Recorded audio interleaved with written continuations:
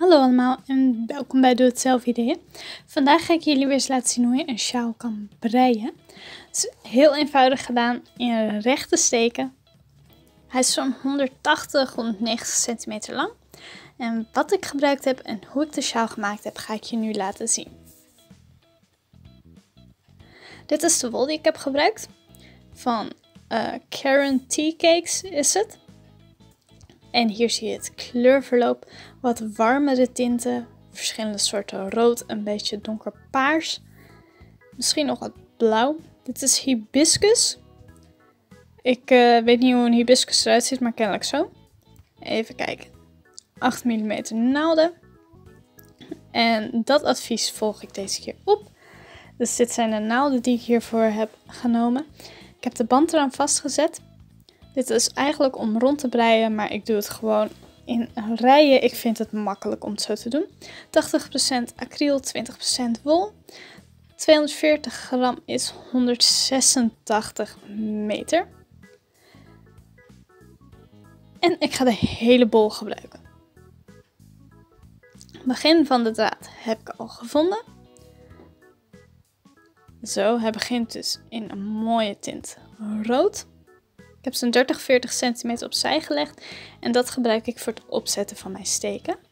Om daarmee te beginnen doe ik het zo in deze vorm. Dan leg ik zo de naald erin en ik trek de draad aan.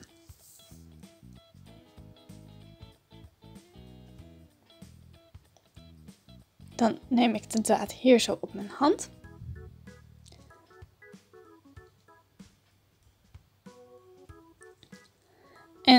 Die leg ik zo om mijn duim is de draad die ik uh, opzij heb gelegd.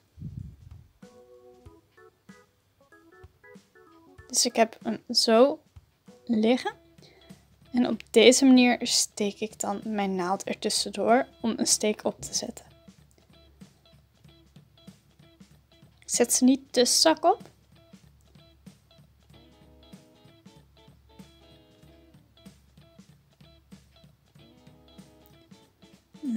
zesde.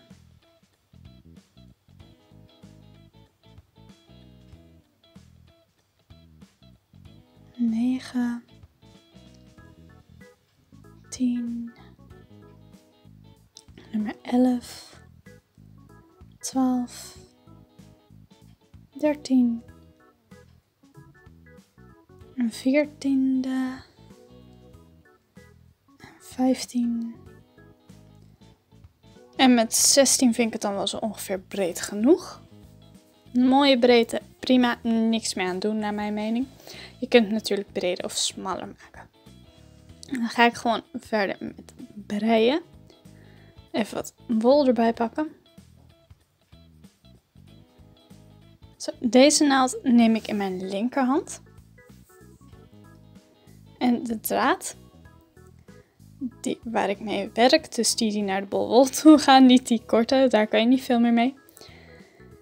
Die heb ik zo hier naar voren liggen. De eerste neem ik gewoon zo over. Dus daar doe ik niks mee, behalve hem op de andere naald doen.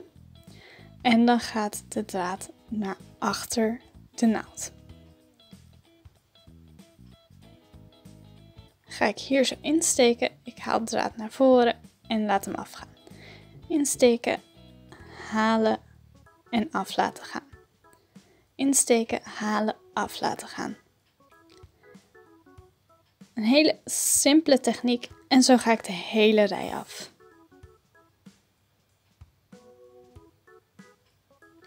Steeds zo dezelfde steek.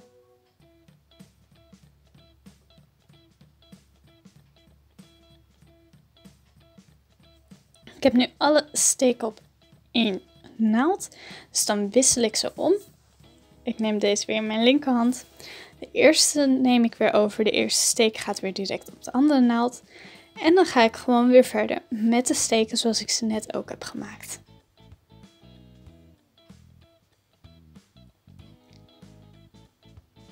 Zo, de draad moet dus altijd achter je werk liggen. En de beweging die je maakt is steeds dezelfde.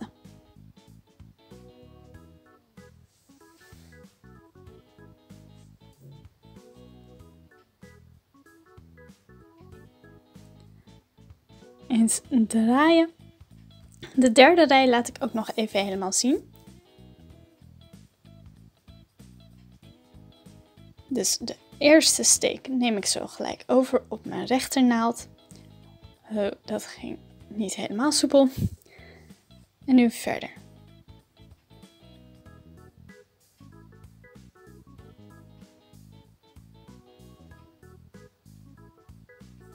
Het patroon begint langzaamaan tevoorschijn te komen met de golfjes hier.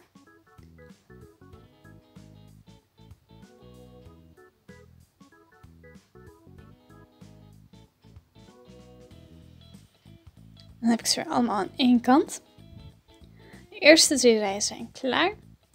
Je doet in principe de hele tijd hetzelfde. Ik brei verder en dan laat ik het kleurverloop zien. Zo een heel stuk later pas, je ziet al een heel groot stuk in rood, komt er eindelijk wat paars bij. Dus de eerste kleurwissel is hier duidelijk te zien. En binnen drie steken is dat gedaan, gelijk van rood naar donkerder paars. En we gaan nog wel een paar wissels krijgen. Ik brei in ieder geval nog een stuk verder. Tot de bol op is. Gewoon steeds dezelfde steken. Dit is de zijkant die je dan krijgt met deze V-vormpjes. Andere kant natuurlijk hetzelfde. En dan laat ik het eindresultaat ook zien. Ik ben bijna klaar ondertussen. Hij is behoorlijk lang geworden deze sjaal. Ik had hem ook wat breder kunnen maken dus. Hij is uh, bijna 2 meter lang en hij rekt ook nog een beetje uit. Ik heb hier nog een klein beetje over. Dat is dit kleine stukje.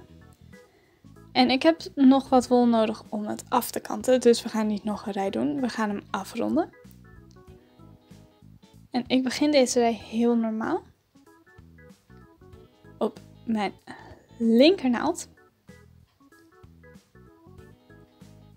Zo. Dus eerst haal ik zo direct over naar mijn andere naald. Dan brei ik die recht. En de eerste lus die ik op deze naald heb, die wordt over de tweede ingehaald. Zodat er zo steeds maar één lus op mijn rechternaald blijft. Ik brei weer een steek. En dan wordt de achterste lus weer over de voorste heen gehaald. Weer een steek normaal breien. En dan zo. Dit zijn de laatste twee. Dus de achterste komt over de voorste heen.